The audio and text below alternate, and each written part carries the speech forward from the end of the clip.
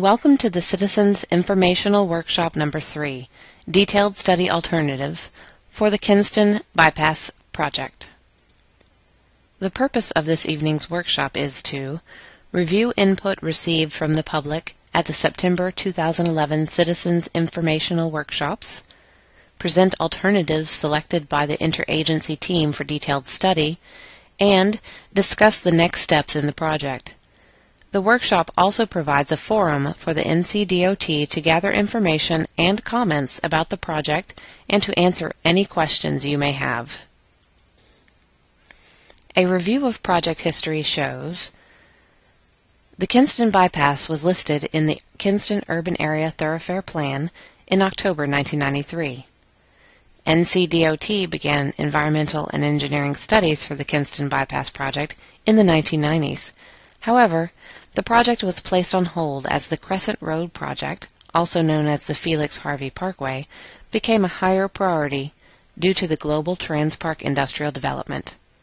In October 2007, the project was listed in the City of Kinston Comprehensive Transportation Plan, and in May of 2009, the NCDOT officially restarted the project. This project will follow what is called the merger process.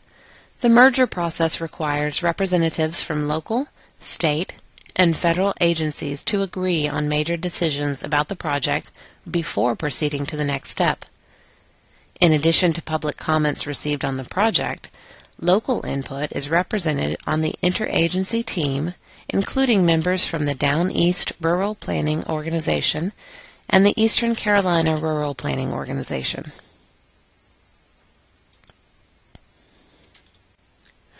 The interagency team agreed to the project study area, shown here in red.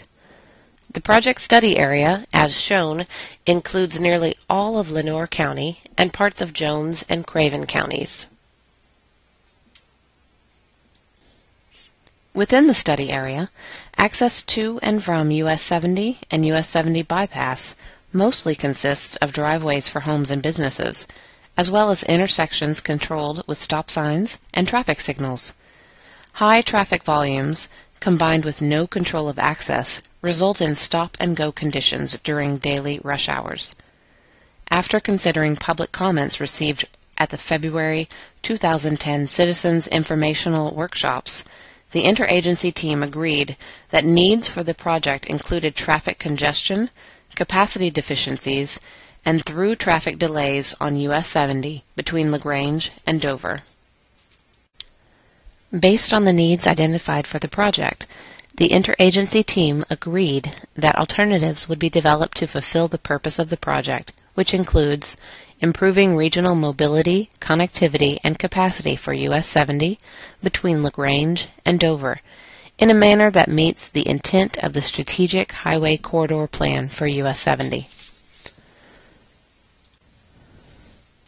According to the Strategic Highway Corridor Plan, this section of US 70 is designated as a freeway. As a freeway, access to and from the proposed road would only be allowed at interchanges. At the second Citizens Informational Workshop, held in September 2011, NCDOT representatives reviewed the process followed for developing potential route options that would meet the purpose of the project. NCDOT asked the public to provide input on the potential route options shown here in blue. Based on public comments received, the NCDOT revised and refined the potential route options with the purple lines representing route segments that were added and the red line representing a route segment that was moved. NCDOT presented 41 draft preliminary corridor possibilities at Citizens Informational Workshop Number 2. However, after implementing the public input, 62 draft preliminary corridors resulted. Impacts for 62 draft preliminary corridors were calculated and presented to the interagency team on November 17, 2011, in order to identify alternatives to be carried forward for detailed study. From this information, the interagency team selected the 17 draft preliminary corridors as the detailed study alternatives. On the map, the northern corridors are shown in blue. Upgrade existing corridor is shown in orange, and the southern corridors are shown in green. Over the next year, the project team will be developing designs for the detailed study alternatives, which will include interchanges at the main roads, overpasses at the minor roads, and service roads to provide access to properties adjacent to the detailed study alternatives. Once the designs are done, multiple technical studies will be prepared to identify the direct and indirect effects each detailed study alternative will have on the human and natural environments. This timeline shows the major milestones for the project study, which will take several years to complete. Public involvement opportunities will be available throughout the study. As you can see by looking at the timeline, right-of-way acquisition will not occur until 2020, and construction of the project has still not been funded. The project timeline is also provided in the workshop handout. For information throughout the project development process, please feel free to contact either the consultant project manager, Chris Werner, or the NCDOT project manager, Mark Pierce. Their contact information is included on the materials that were provided to you at the sign-in table.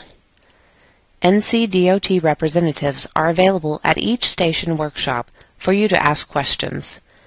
Additionally, should you have any comments on the project, you may complete a comment sheet tonight or send them to Chris Werner by June 17, 2012. We thank you for your participation. Please proceed to the next workshop station.